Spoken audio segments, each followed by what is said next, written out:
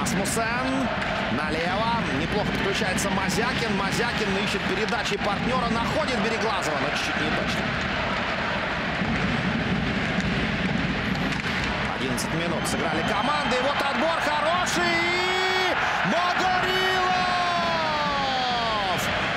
Верещагин тоже заметная фигура. 55 номер, защитник магнитки по первым минутам. Ну и Дорофеев Оставил неудел Лекомцева, но там эти желтые